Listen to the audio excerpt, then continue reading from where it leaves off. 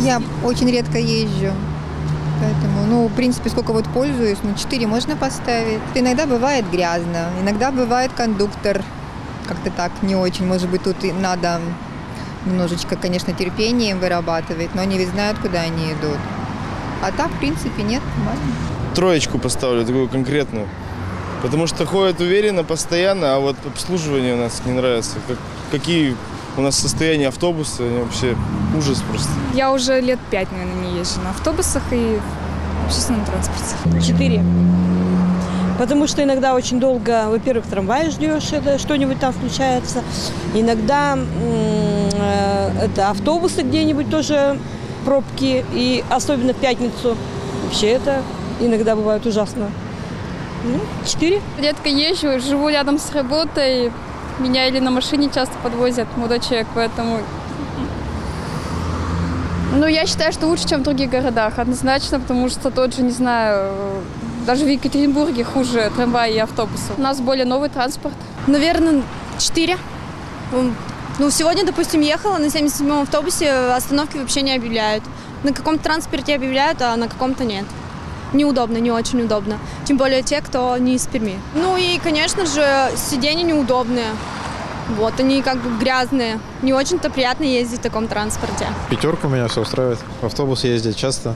Можно отсюда везде доехать, трамвай ходит без пробок. Так как я в основном хожу пешком, потому что мне нравится в хорошую погоду ходить пешком, я ничего не могу сказать и оценить.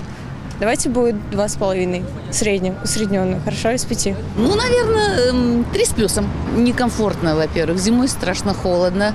А, Не всегда вовремя ходит. Ну, но он неудобный, понимаете? Неудобный, вот в чем. Ну, я, конечно, рано утром езжу, так еще ничего.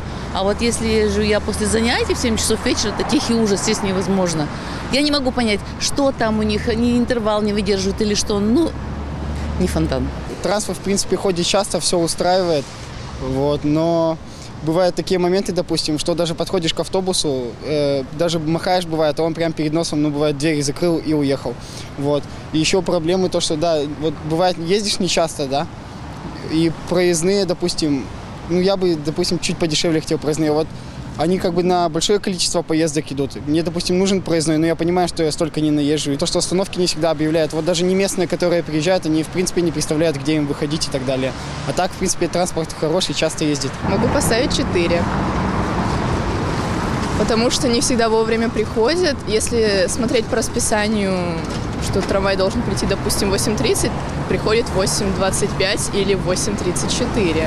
И вот это очень расстраивает. А в основном все нравится. Я поставил три или три с половиной. Вот. Плохо то, что график работы у них э, сильно сокращен.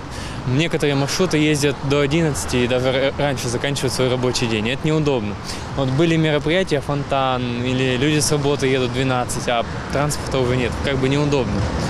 Вот. И некоторых маршрутов э, автобусов не хватает, такие как 27-е количество